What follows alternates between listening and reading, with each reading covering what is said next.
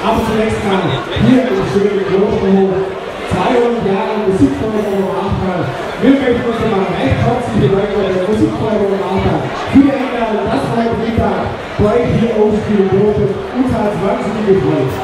Richtig, hier unser Vater Oben Achtal, Musikvereinsfeuer mit Oben Achtal, Romanik aus Oben Achtal. Oben Achtal aus Meine, das weiß ich gar nicht ganz sicher. Auf jeden Fall war es ein super Fest, das wir dort am Freitag beim Gästeabend mit Tanz und Bitte Supermoto, wo alles Fest sehr gut gefühlt war, was wir uns sagen lassen haben. Und heute hier das Festzug mit dem Kunst- und Handwerkermarkt draußen auf dem Klostergelände und hier mit euch zusammen das Fest zu gestalten. Das freut uns riesig. Ja, wir haben bis jetzt sehr musikalisch hier auf der Bühne aufgetreten und haben ja gute Mischung an Leute hier am Feld, viel Musiker, auch viele Normale.